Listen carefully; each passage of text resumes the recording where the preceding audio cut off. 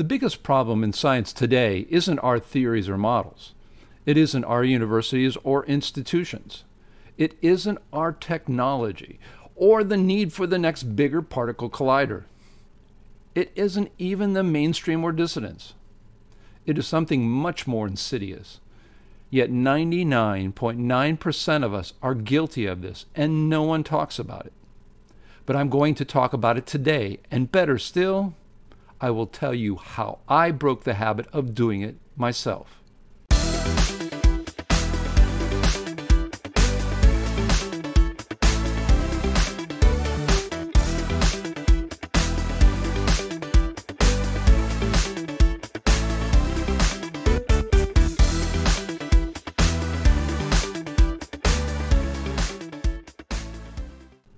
The biggest problem in science today has to do with time, not space time or relativity, not time in the scientific sense, but in the human sense.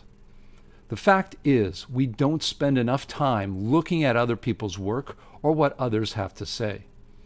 We let others do the thinking for us, and that may be the most damaging aspect of science progress today. Let's face it, there's an immense amount of science going on in the world, and an even larger amount of people blogging and vlogging about it on the internet. How can we possibly read or watch everything about everything scientific? It's impossible. Therefore, the easiest thing for us to do is to read an article or listen to someone on YouTube and trust that they took the time to investigate something that you don't have time to investigate yourself. Maybe it's a science evangelist you like who always uses inspiring words and has a smooth delivery. Maybe it is a columnist in a very reputable science magazine or newspaper that you have read for many years and trust.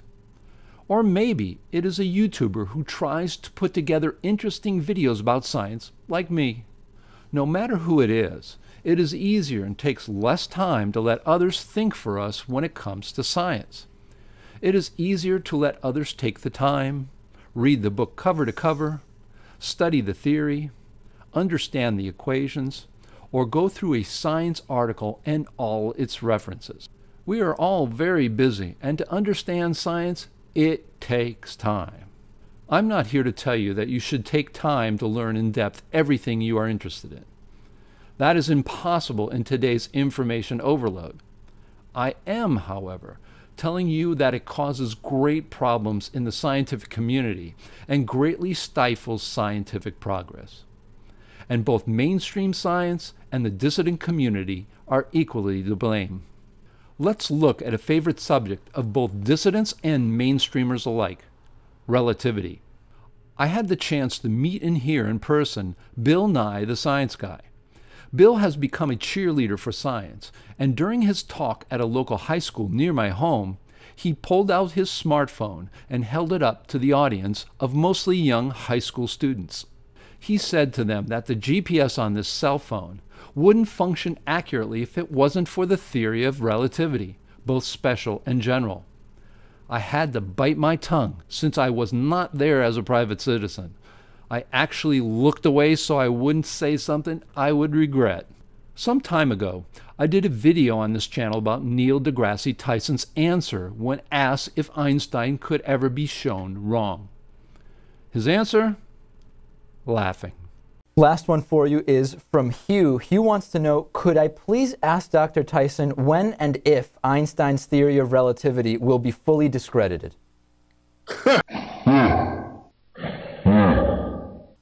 it will never be discredited because it works. Both of these incidents have everything to do with not taking the time to properly and fairly investigate the science being espoused. Bill Nye and Neil deGrasse Tyson trust 100% big physics and big cosmology. They themselves are mouthpieces for big science and never challenge what is being said. They explicitly state that it is their job not to judge, but to communicate. But what if Nye and deGrasse took the time to look at counter arguments against relativity like all good critical thinkers should? If they did, they would certainly not be talking or laughing about relativity or teaching it in the same way. Hmm. If they would have taken the time, as many of us have, to review the works of Ron Hatch, Dr. Edward Dowdye, and Dr. Cynthia Whitney, they would see relativity failing in spectacular fashion. What if Bill Nye, who held up his cell phone, were to have studied the work of Ron Hatch? Ron is a world expert in GPS, in which he holds over 30 patents, and who says that GPS shows flaws in relativity rather than supporting it. Bill Nye, who preaches that GPS uses relativity, would have most likely kept his cell phone in his pocket.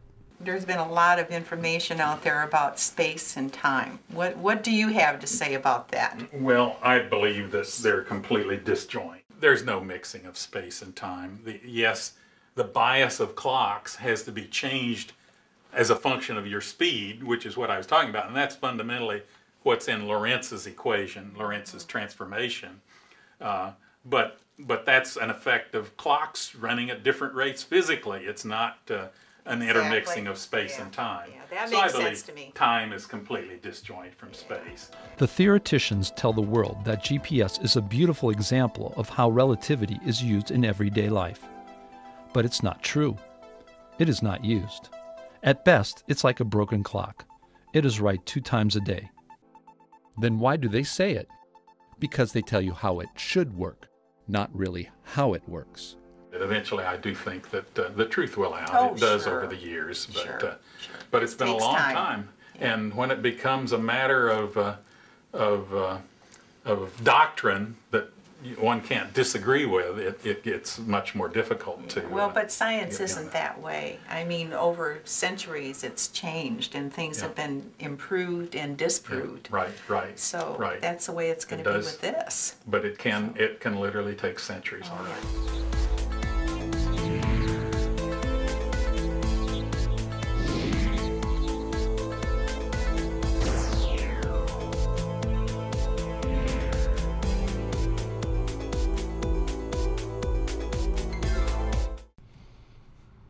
What if Neil deGrasse Tyson were to read Dr. Edward Dowdye's work on light and gravity? Dr. Dowdye is a retired NASA scientist who has evidence that light only bends in the coronas of suns, and outside the coronas, light doesn't bend as predicted by Einstein. Tyson instead scoffs at the very idea that Einstein could be wrong and completely abandons the chance to not only learn himself, but to teach others to be critical thinkers. It will never be discredited because it works.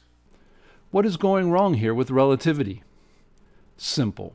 Science evangelists and mainstream science do not take the time to investigate both sides of relativity themselves. They don't address the question of being wrong other than to laugh at such a possibility. They are mouthpieces for big science and stay away from taking the time to investigate something as important as relativity and modern science. But if you think that big physics and big cosmology are the only ones to blame for not taking the time to truly understand concepts and all sides of a scientific topic, think again.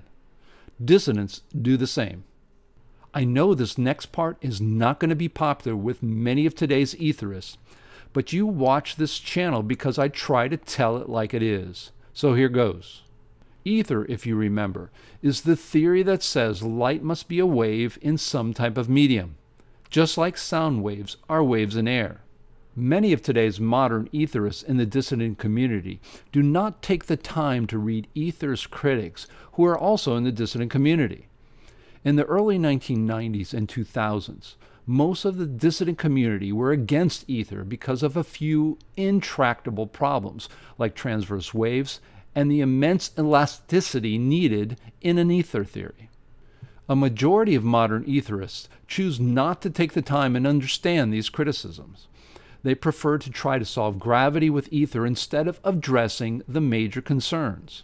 I have seen many people in the common area of this YouTube channel talk as if ether is the only model that can exist in order to give physicality to light, that ether is inevitable, or that it is wrongly abandoned by scientists in the past. It is a given in their mind that ether is a fact.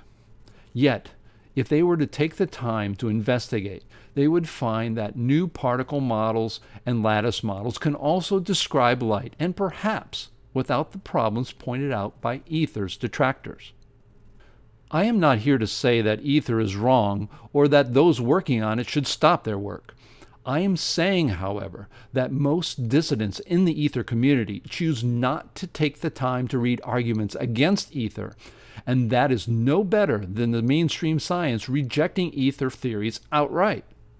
Another problem in the dissident community is that dissidents often shun other dissidents who have more radical views of the universe. One such group that often gets shunned in the dissident community is the electric universe. Many dissidents frown upon the electric universe community for the belief that the universe is more electric than gravitational, and that large planetary features like the Grand Canyon were caused by great catastrophic electrical discharges. To many dissidents and mainstreamers alike, this is too far away from a comfortable reality to even take the time to see what they are talking about. This attitude is wrong, but I'm going to tell you how to change it.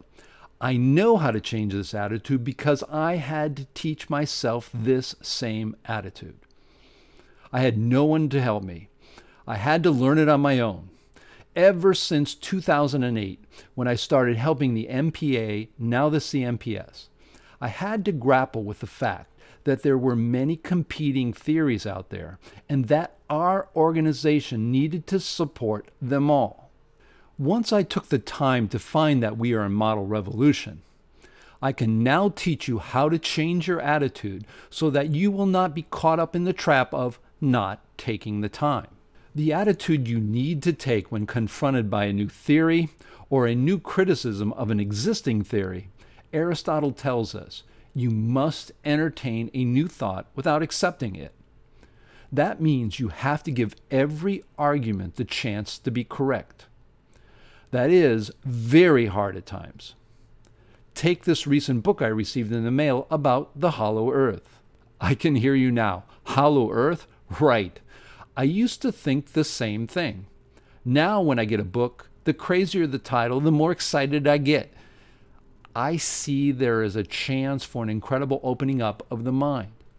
I never know within the pages of a book or in the logic of a failure of some current theory. Therein lies the possibility for the very important aha moment waiting for me. Here's the book Bubble Earth Space Time Gravity and the evolving Earth. I, of course, immediately turned it over and found that I agreed with almost everything the author, Nicholas Verne, says on the back cover. And I quote Discussions of space time are usually centered on such things as multiple dimensions and black holes. Add a dash of philosophy, and you might have a feeling not unlike that awaked by thoughts of the occult, saith Albert Einstein. However, space and time can and should be understood as being structurally simple. We need to believe that space is a primordial and eternal nothingness, and time emerges from the structure that has come to exist within it. The structure has a rate of change, and this rate of change becomes our definition of the rate of time. Time and gravity are symptoms of this entropic structure within space. But what does more damage? Not allowing a student to tackle an impossible or untrue statement, or not allowing them to discover something so important on their own. When in college, while getting my math degree, I decided I would try to come up with an empirical equation for the circumference of an ellipse. This is one of the known impossible tasks in mathematics that can only be answered with an infinite series. But instead of discouraging me, my math professor let me try. And try I did. For three months, I tried everything I could in order to find a solution until I finally came to the conclusion that yes, it was impossible. And the conclusion I came to allowed me to explain simply that there was a curvature on the ellipse that was not constant and could never result in an empirical equation as does a circle. In a circle, you have the same curvature around the entire circle, and therefore you can find a constant, which is pi, and an empirical equation. You cannot with the circumference of an ellipse. It requires an infinite series. When I started this channel and started leading our society, the CNPS, I made a conscious effort to look at any and all evidence with the eyes of a child.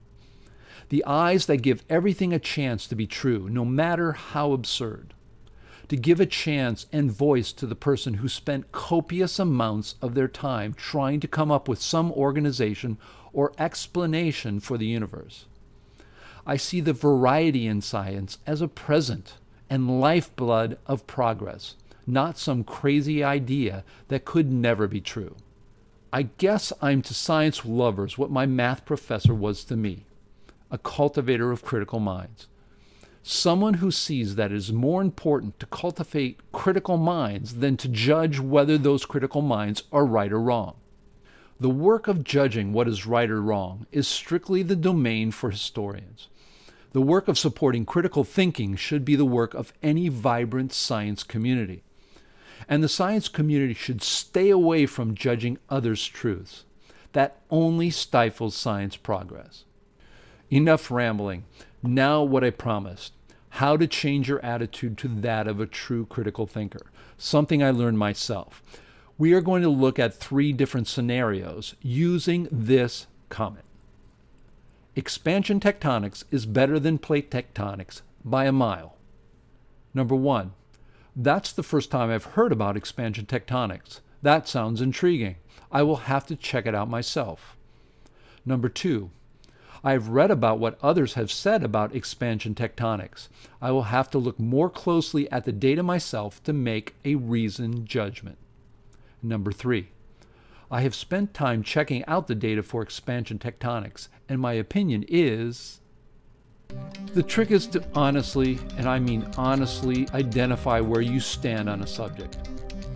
If you do that, your answer will not only be the correct one, but will allow you not only to advance your understanding of the universe, but will actually have a chance to help science progress.